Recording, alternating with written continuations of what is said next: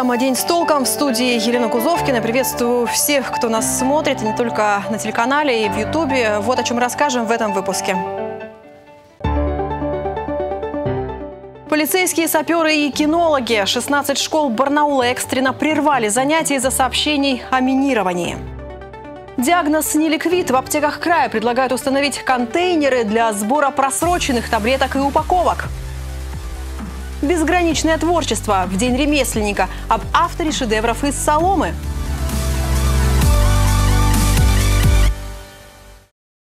В Барнауле сегодня 16 школ экстренно прервали занятия. Детей и педагогов эвакуировали, после чего учебные здания начали проверять саперы и кинологи. Причина – электронные сообщения, которые поступили сегодня утром о минировании школ. Подробности ЧП в репортаже Анары Шагировой. Это уже вторая в истории края массовая рассылка о том, что в здании заложена мина. Первый подобный инцидент – январь 2019 года.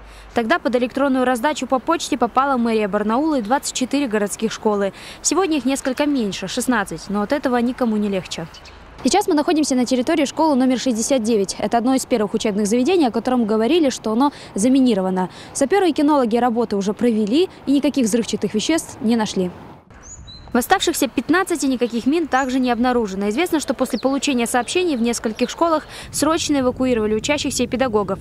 Кинологи с собаками, а также саперы осматривали классы. Часть школ учебный процесс возобновила с четвертого урока, часть со второй смены. В некоторых из якобы заминированных школ ученики должны были писать всероссийские проверочные работы. Об этом писали и родители в соцсетях. Но теперь, видимо, комплексные задания перенесут. Надо отметить, что к сообщениям о минировании на этот раз довольно спокойно отнеслись и школьники, и педагоги, чего не скажешь о прошлой истории. В 2019-м возникла паника, но на этот раз все просто спокойно дожидались окончания оперативных мероприятий. Правоохранители пока никаких пояснений не дают, но в Краевом МВД, как заверили нас в пресс-службе ведомства, комментарии дадут несколько позже. Два года назад письма сложными сообщениями отправляли из Европы, Брюсселя, Мюнхена, а также из Москвы. По данным фактам было возбуждено сразу четыре уголовных дела по статье «Заведомо ложное сообщение об акте терроризма». Анара Шагирова, Николай Шелко. День с толком. А вот 22-ю гимназию Барнаула сообщение с угрозами, к счастью, миновало. Сегодня там провели ЕГЭ для родителей школьников. Причем все было по-настоящему. Видеонаблюдение, металлоискатели и жесткий регламент. Наша съемочная группа побывала на экзамене и оценила его сложность для испытуемых. В пункте проведения экзамена нельзя пользоваться вспомогательными материалами, нельзя пользоваться средствами аудио-видеонаблюдения, это только малый список того, что запрещено. Никаких металлических предметов, потому что на входе металлоискатель. Перед началом экзамена по русскому языку слегка волнуются все, даже сам министр образования. Хотя он с юмором вспоминает свой первый школьный экзамен. У меня по русскому языку в 11 классе была четверка, мы тогда писали сочинение, за сочинение была пятерка, как сейчас я помню, что мы писали, значит, вот по мотивам произведи... Э, пьесы Островского «Гроза», значит, это была пятерка и четверка за русский язык, и было две ошибки. Одна из них ужасная, я помню ее до сих пор. Рукоятка слово я написал через «д», потому что, когда я стал проверять, мне показалось «рукоя, дочка». Родителям для экзамена отвели всего 30 минут. В каждом варианте по три задания. Одно из которых сочинение. Даже при большом желании подсказать или воспользоваться шпаргалкой невозможно. По аудиториях установлены видеокамеры. У взрослых есть шанс быть удаленным. Это первый раз я сдаю ЕГЭ, потому что когда я выпускалась ЕГЭ Лемфа, сейчас изменилась процедура с э, использованием современных технологий. Ну да, есть не, некоторое волнение, что ты видеонаблюдение. Кстати, сегодня родителей школьников не так уж и много. В основном это преподаватели университетов, ректоры и деканы, хотя и они признаются, что было непросто. Сложно, оказывается, рассчитать свое время, чтобы из черновика успеть переписать на чистовик. Я не успел. Ну и на какую оценку вообще тогда рассчитываете? Ну, надеюсь, хотя бы на троечку. К слову, проверили работы на зависть настоящим выпускникам практически сразу. Все 30 участников экзамена перешагнули минимальный балл. Акция «Единый день сдачи ЕГЭ родителями» проходит в крае уже пятый год. Она нужна для того, чтобы родители побывали на месте современного выпускника. Ведь нередко вместо того, чтобы стать группой поддержки, они невольно нагнетают обстановку и создают еще больше стресс, утверждают педагоги. Валентина Аскерова, Анара Шагирова, Николай Шелко. День с толком. Все больше жителей края жалуются на дороги, по которым невозможно проехать из-за весенней распутицы. Люди говорят, что уже устали обращаться за помощью к муниципальным властям и готовят обращение к руководству региона. Тему продолжит Анастасия Дороган. Бураново, Ускалманский район, школьный маршрут. В Усть-Калманском районе тает снег и тает дорога. Здесь буксует школьный автобус, с трудом пробираются автомобили. Именно этот путь ведет из поселка, но выехать рискуют не все. Ирония в том, что настоящая дорога рядом, но под снегом. Прочистить ее никто не пытался.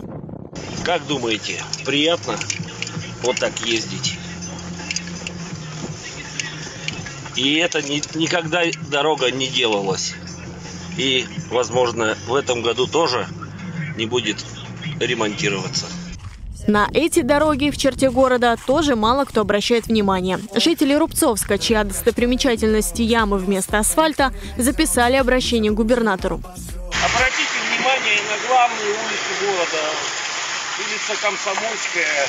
Знакомы ли вы с мэром города Рубцовска Фельдманом Дмитрием Савельевичем? Знакомы ли вы лично и куда уходят деньги, выделяемые на бюджет города? Власть, атакуемая в соцсетях и СМИ, все-таки вышла к людям правда в одном лице. На прошедших выходных Виктор Томенко решил целенаправленно прогуляться по Барнаулу и Новоалтайску, проверить дорогу, по которой ступают горожане.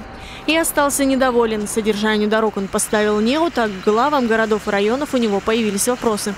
Складывается впечатление, что в наших городах и селах хозяев нет.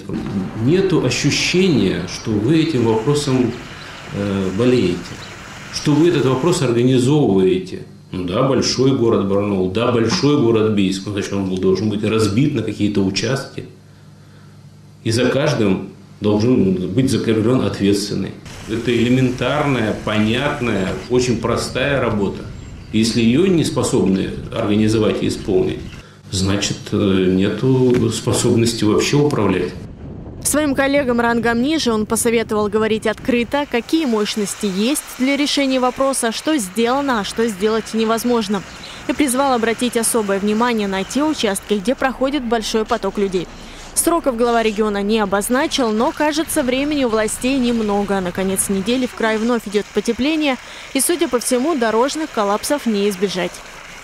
Анастасия Драган, День с толком.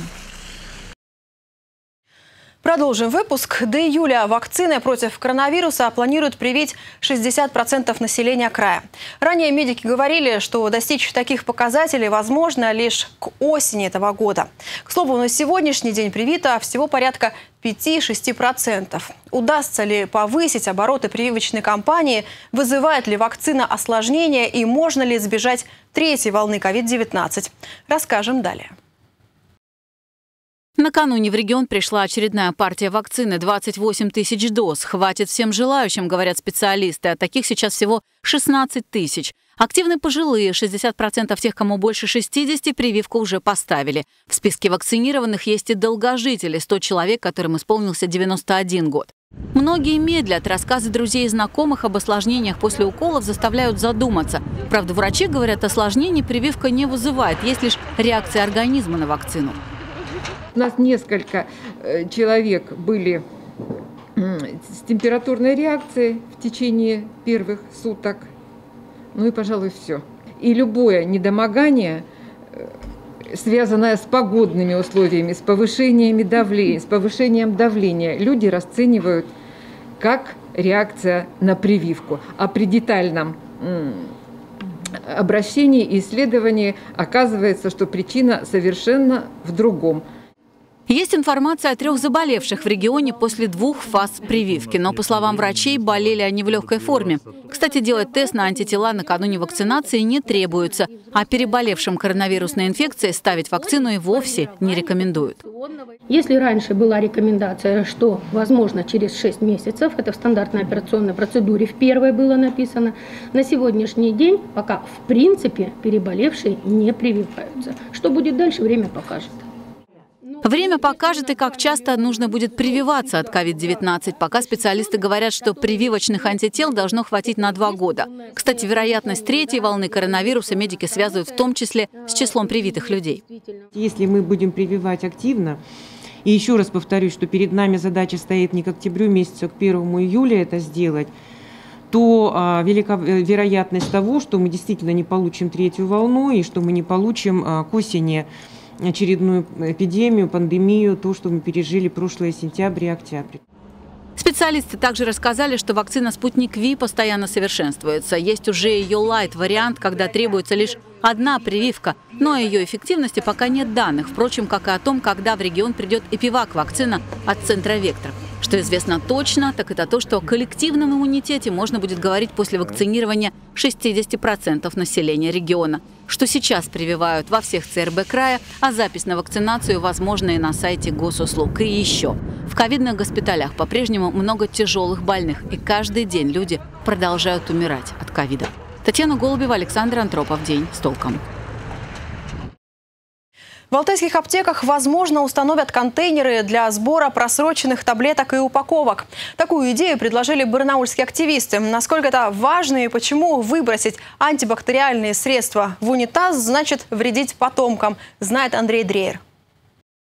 Все антибиотики на планете Земля перестали действовать, и мир захватили бактериальные инфекции – это, конечно, преувеличение в духе научно-фантастического фильма, но как раз научное основание у него есть. Такой сценарий апокалипсиса возможен, если мы и дальше будем неправильно утилизировать лекарства. Отчасти поэтому организация мусора «Больше нет Барнаул» больше года назад начала собирать просроченные медикаменты и упаковки от них. А теперь, как рассказала Ольга, решили установить контейнеры в аптеках, чтобы людям было еще проще отдавать лекарства на правильную утилизацию. Мы предлагаем аптекам подключиться к проекту, дать добро, УМПО готово привести к ним, поставить брендированный контейнер для сбора лекарств и осуществлять его вывоз из этих контейнеров два раза в месяц. То есть от аптеки требуется только одно а, – дать согласие на то, чтобы контейнер стоял у них. Так проще, ведь привозить медикаменты на акции по сбору могут не все, а это вопрос важный. Блистеры из-под таблеток разлагаются очень долго, но есть и причина, о которой часто говорит, вероятно, главный популяризатор доказательной медицины в России Алексей Водовозов. Ученые выяснили, антибиотики просто так выкидывать нельзя. Не рекомендуется смывать такие э, антибактериальные препараты в общедоступную канализацию, э, поскольку нам не нужно воспитывать никаких никакие устойчивые штаммы бактерий в той же канализации, и вы не знаете, какой монстр потом оттуда выберется. Монстров бактерий часто выращивают и на фермах, рядом с курочками и коровками. Ведь последних нередко кормят антибиотиками без необходимости. При этом очень много действующего вещества просачивается в землю. Его всегда недостаточно, чтобы убить всех бактерий, поэтому выброшенное лекарство фактически выращивает новые, мощные и устойчивые организмы. Это хорошо показано на знаменитом эксперименте. Огромную чашку Петри поделили на 9 секций с разным содержанием антибиотика. По возрастанию от краев к центру на краешках нет антибиотика, а в середине доза в тысячу раз больше, чем может пережить бактерия. На чашку пускают кишечную палочку. На ускоренной съемке видно, как возникают новые штаммы, мутанты, что уже не боятся концентрации, от которой умирала их родня. И спустя 11 дней им удается прорваться в область с тысячекратным содержанием антибиотика, который может перенести дикий тип. Такие же дикие типы мутанты вырастают, когда мы с вами выбрасываем антибиотики в унитаз или просто в землю. Отчасти и поэтому врачи и фармацевты сталкиваются с пугающим явлением – какой-нибудь вид антибиотика просто перестает работать, поскольку выросла устойчивая форма бактерии. И именно поэтому существуют компании, которые занимаются правильной утилизацией медицинских препаратов. Отходы мы утилизируем на специальных плавильных печах, инсинераторах. То есть температура в камерах горения от 750 до 1500 градусов. Остается ну, горстка пепла, то есть она не загрязняет уже ни экологию, воздуха выбросов нету. Наталья – представитель компании, в которой согласились бесплатно собирать лекарственную просрочку барнаульцев и после сжигать ее. Нам рассказали, что и раньше были люди, которые сами приносили свои просроченные препараты на утилизацию. Теперь на акции «Мусора больше нет» Барнаул собирают до 60 килограммов старых лекарств ежемесячно. Когда в аптеках города появятся контейнеры, будет еще больше, а значит планета станет еще чуть дальше от катастрофы. Осталось только, чтобы аптеки согласились. Андрей Дриер, Александр Антропов. День с толком. Соломка, горячая вода и умелые руки – этого сочетания достаточно для того, чтобы почти забытое искусство соломенной пластики продолжало жить. Каково это – работать с нестандартными материалами и учить этому детей? В День ремесленника разбирались наши корреспонденты. Объемное плетение, его можно выполнять из четырех, из пяти, из семи, из любого количества соломинок. Мы оплетали бутылку, у нас там было вообще 18, наверное, соломинок.